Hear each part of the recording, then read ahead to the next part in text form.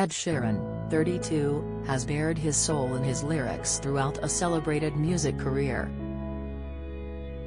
However, the Thinking Out Loud hitmaker is now set to give fans an even more intimate insight into his personal life with his Disney Plus documentary, Ed Sheeran, The Sum of It All.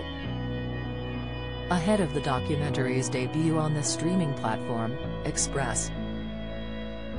Co.uk has taken a look back on Ed's love life, which led him to his marriage with wife, and mother to his two children, Cherry Seaborn.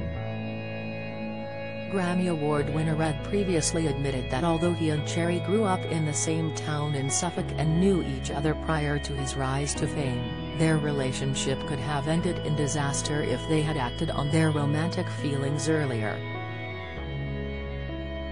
The British star was quick to correct Dax Shepard, 48, on an episode of his Armchair Expert podcast back in 2021 when the American actor branded Cherry his childhood sweetheart.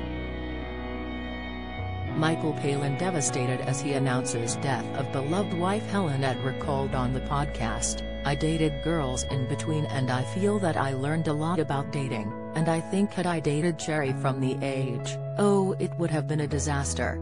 Dax interjected.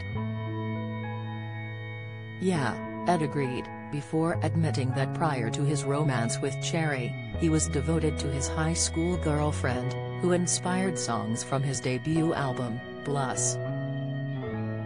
The singer-songwriter went on to admit that he is weirdly still friends with his ex-girlfriend from school.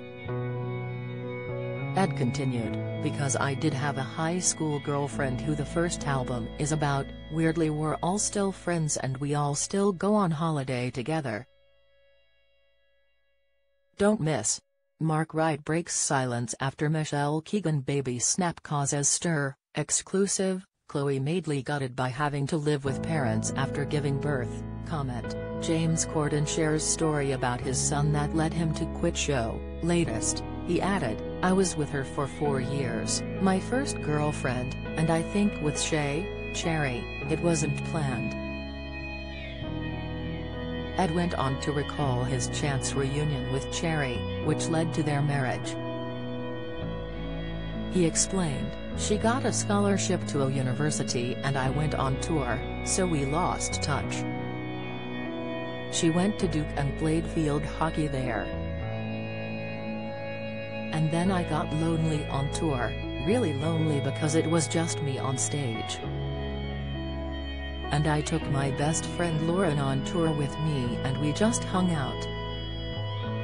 Then one day she, Lauren, was in New York and she went to go hang out with Cherry because Cherry was in New York and worked on Wall Street and then she was like, Cherry Seaborn's in town, do you wanna hang out? I was like yes and in my head, the last time I'd seen Cherry went hooked up. Ed then began to wonder whether or not Cherry would have remembered their brief romance, as they had only shared a kiss all those years ago. Fortunately for the star, the reunion was the beginning of the rest of his life, as he and Cherry tied the knot in 2019, and welcomed their first daughter, Lyra, the following year.